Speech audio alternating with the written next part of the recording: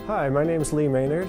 I'm the chair of the Agricultural Economics Department, and my favorite building on UK's campus is the ES Good Barn because this is the best place on campus to connect with all the people we serve around the state. This is the place where people often come from uh, outside the UK community, from out in the state. The Good Barn is used for mostly meeting space now, but it was originally UK's dairy barn.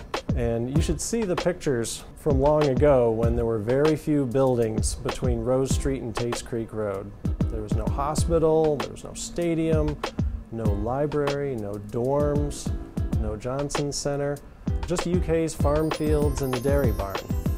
And the place where people have fancy meetings now used to be where dairy cows were being milked. And in 1953, a lightning strike caused a fire in the hayloft up here and the top portion of this barn was destroyed. That was almost the end of the good barn. It was scheduled to be demolished, but it wasn't that easy to get rid of.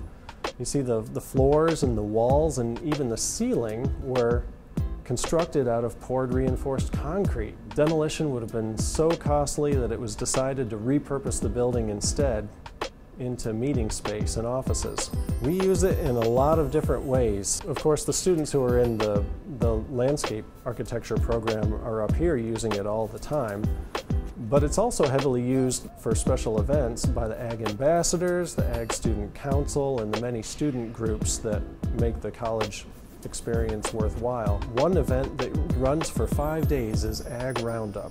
The final day, on a Saturday of a home football game, this good barn is packed with alumni. It's very important to maintain those strong connections between our alumni and our students, faculty, and staff because UK is a focal point for connections that create opportunities. And the Goodbarn is, is one of the places where that happens the most with our land grant mission that integrates research and teaching and cooperative extension outreach in the state, uh, we're involved in all 120 counties of Kentucky. And the Good Barn is absolutely the best place on campus to see those people who we serve out in the state. And that's consistent with our land grant mission. So that spirit is, is what underlies our involvement, not just here in Lexington, but throughout the entire state. I'm Leigh Maynard, and the ES Good Barn is where I see blue.